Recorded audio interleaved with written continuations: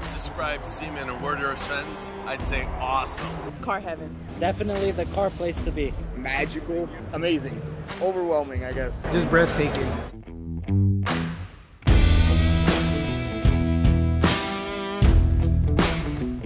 The coolest thing I've seen at SEMA so far has been the burnouts. Standing right at the barriers and having the burning rubber spitting into your face has been really interesting.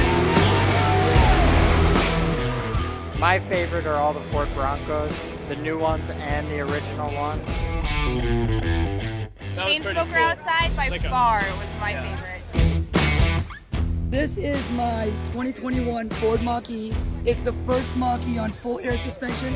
We tried to make it as futuristic as possible. It was all about the wow factor, but the attention to detail as well. eBay Motors is one of our outlets to get us parts that we need.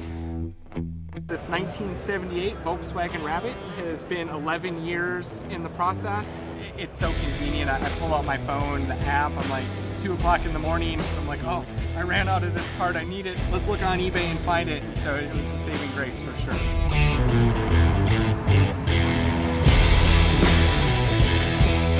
Whether it be new or old, uh, it's just, you know, a car community coming together really.